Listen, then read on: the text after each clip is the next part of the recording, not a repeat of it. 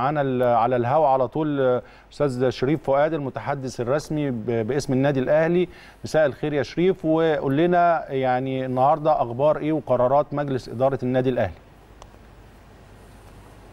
مساء الخير كابتن هاني تحياتي ليك ولضيفك الكريم الصديق العزيز والناقد الرياضي الكبير الأستاذ محمود صبري ولكل مشاهدي قناة النادي الأهلي ولجمهور النادي الأهلي في كل مكان. الحقيقة إنه مجلس إدارة النادي الأهلي انعقد اليوم في مقره بالجزيرة برئاسة الكابتن محمود الخطيب وبحضور كل أعضاء مجلس الإدارة باستثناء المهندس خالد مرتجي المسافر إلى خارج البلاد.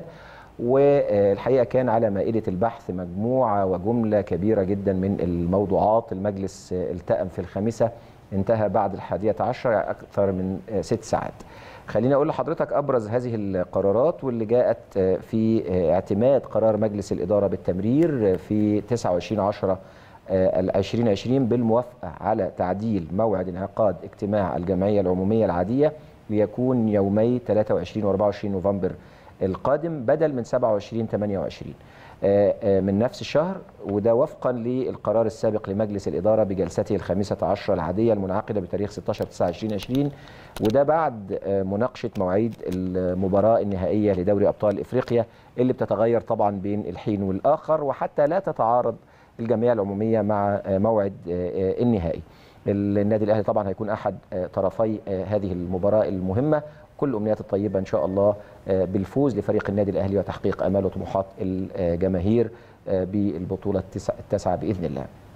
كمان اعتمد مجلس الإدارة أيضا قرار بالتمرير اتخذ في 3 11 2020 على عدم اتمام التعاقد مع لاعب الكرة الطائرة المحترف وهو فابيو رودريجيز لسنة 2021 بناء على رغبة الجهاز الفني بسبب إصابة اللاعب وتم التعاقد مع لاعب بديل كندي الجنسية هو سيزتو رايموند. كلاعب محترف للكرة الطائرة خلال الفترة من 1 11 2020 حتى 1 6 2021 يعني 8 شهور. كمان تم النظر في تقرير مجلس الإدارة عن أعماله للسنة المالية المنتهية من 1 7 19 حتى 30 6 2020 وبرنامج النشاط وخطة العمل المالي الجديد وتقرير المراقب حسابات كل ده عشان يعرض على الجمعية العمومية إن شاء الله. كمان تم عرض الميزانية والحساب الختامي للسنة المالية المنتهية تمهيدا أيضا للعرض على الجمعية العمومية والتقرير المالي كمان من 1 7 19 حتى 30 6 2020 وكمان مشروع الموازنة المقترح للعام 2020 دي كانت مجموعة من القرارات اللي اعتمدها مجلس الإدارة. كمان في موضوعين مهمين جدا يتعلقوا بالحقيقة رغبة النادي الأهلي في أن يظل في المقدمة وقائد ورائد المنظومة الرياضية بإدارته الرشيدة والحكيمة. الأول ما يتعلق بالمتابعة الدؤوبة والدقيقة لأعمال الإنشاءات غير المسبوقة اللي بتتم الحقيقة في النادي الأهلي سواء في المقر الرئيسي أو في فروعه المختلفة. النهاردة وفيما يتعلق بالفرع الرابع للنادي الأهلي في القاهرة الجديدة اللي بيقام فيه التجمع الخامس المهندس سامح علي كامل قدم عرض عظيم جدا يتعلق بمعدل الإنشاء في الفرع. بعد ما تم الانتهاء من البنية الأساسية تماما المرحلة الأولى اللي تم اعتماد 98 مليون جنيه ليها الحقيقة وبتشمل أكاديمية لكرة القدم بالإضافة لمبنى اجتماعي وملاعب سلة وطايرة ويد والأسوار والبوابات كل ده إن شاء الله يخلص في شهر 6 ويتم افتتاح الفرع. المجلس كمان كان حريص النهاردة أنه يلحق المرحلة الثانية بالمرحلة الأولى علشان يكون في تواصل واعتمد للمرحلة الثانية مبلغ كبير جدا للانتهاء من كل الإنشاءات وبالتالي يقدر أعضاء الفرع القاهرة الجديدة الاستمتاع بمنشآت النادي المقام على 50 فدان في مكان متميز جدا. المبلغ اللي تم اعتماده قد إيه؟ هو 225 مليون جنيه.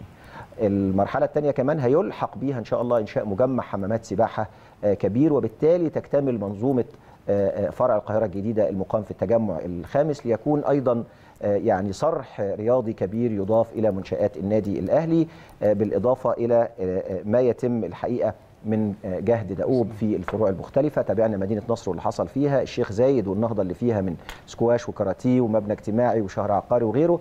بالإضافة للجزيرة اللي هيتم افتتاح البوابة الرئيسية بيها في شارع صالح سليم المطل على مرسى النادي الأهلي يوم 15 فبراير يعني بعد أقل من أسبوع من الآن في إطار التطوير اللي بيشهده النادي وفي إطار إلزام مجلس الإدارة الحقيقة لنفسه بتنفيذ خطة النادي الأهلي وبرنامج عائلة النادي الأهلي. في نفس الإطار الحقيقة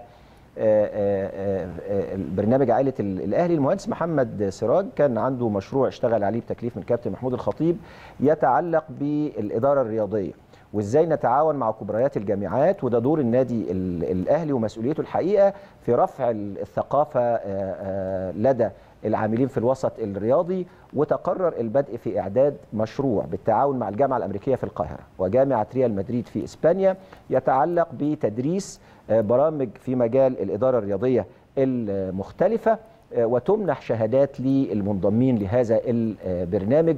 وده الحقيقة موضوع في غاية الأهمية وبيؤكد حرص النادي الأهلي على الأخذ دايما بأسباب التقدم العلمي وإيمانه بأنه الرياضة أصبحت صناعة مهمة جدا وعلم كبير يمكن الاستفادة منه ورفع الحقيقة المستوى التعليمي والثقافي زي ما قلنا في الوسط الرياضي وتحقيق أيضا عائد استثماري من خلاله ويعني فكرة التعاون مع جامعتين الحقيقة بيشار ليهم بالبنان على مستوى العالم مش بس في منطقة البحر المتوسط الجامعة الأمريكية بالقاهرة وكمان جامعة ريال مدريد بإسبانيا. ده عمل عظيم وهو ده يعني دأب النادي الأهلي وعهدنا به الحقيقة وبادارته المختلفة اللي بتضعه دايما في المقدمة. من المتوقع بدء تدريس هذه البرامج والإعلان عن كل تفاصيلها وتوقيع البروتوكول يعني في مطلع العام القادم أو في منتصف العام القادم. منتصف العام القادم يتم البدء للدراسة يعني لكن التقديم هيكون قبل كده إن شاء الله.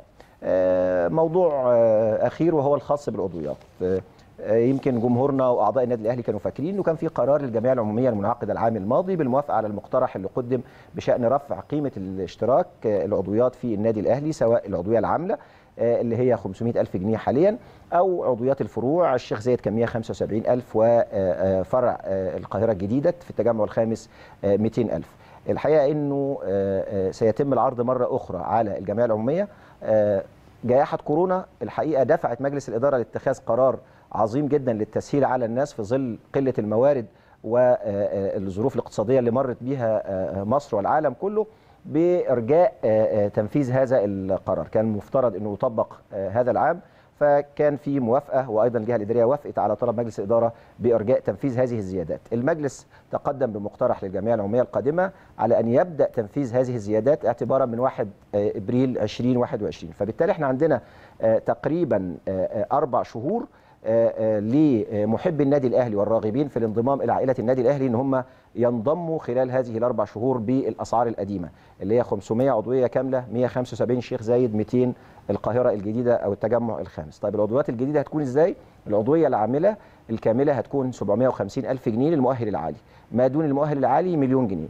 الشيخ زايد هيبقى 250 ألف جنيه. بالنسبة للمؤهل العالي ما دون المؤهل العالي 600 ألف جنيه.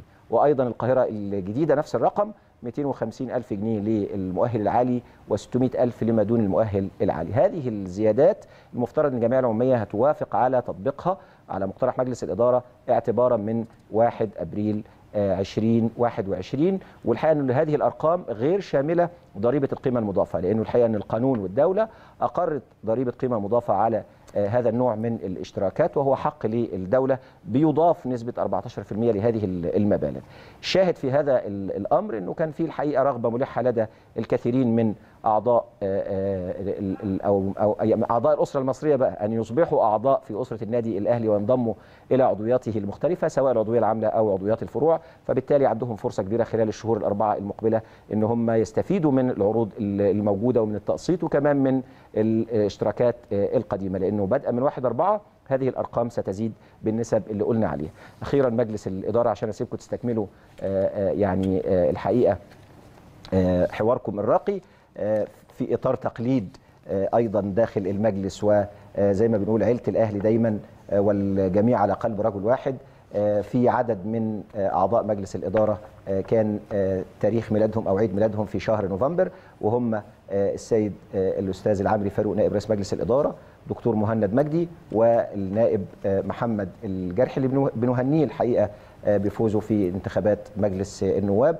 كان عيد ميلادهم النهارده والمجلس كان حريص بقياده الكابتن محمود الخطيب إن هو يعني ينظم ليهم احتفال رقيق على هامش اجتماع مجلس الإدارة. ده كل اللي عندنا النهارده الحقيقة بعد اجتماع مجلس الإدارة. بشكركم وكلنا أذن صاغية لمتابعة البرنامج وفقراته المختلفة. أستاذ شريف فؤاد المتحدث الرسمي باسم النادي الأهلي بنشكرك شكرا جزيلا.